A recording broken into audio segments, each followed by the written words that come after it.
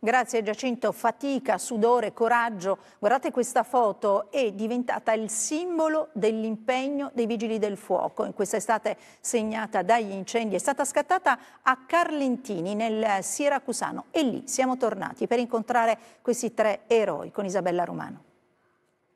Sul viso il sudore impastato col nero della cenere, stremati, a terra, sfiniti dopo 11 ore a combattere le fiamme. La foto che ci hanno scattato è, descrive perfettamente lo stato di emergenza che viviamo, perché noi non vorremmo mai sederci, nemmeno per un minuto, però se lo abbiamo fatto è perché vera veramente eravamo stremati.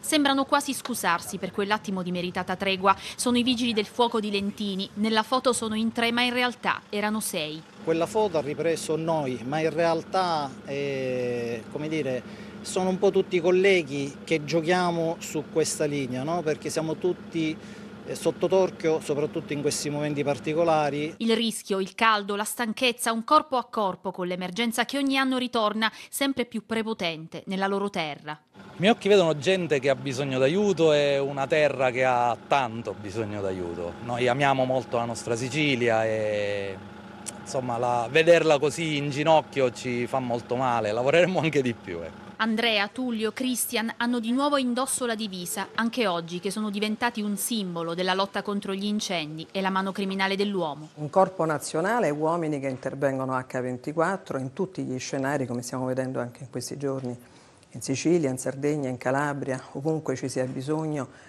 negli incendi così come nelle, nelle alluvioni e in altre emergenze.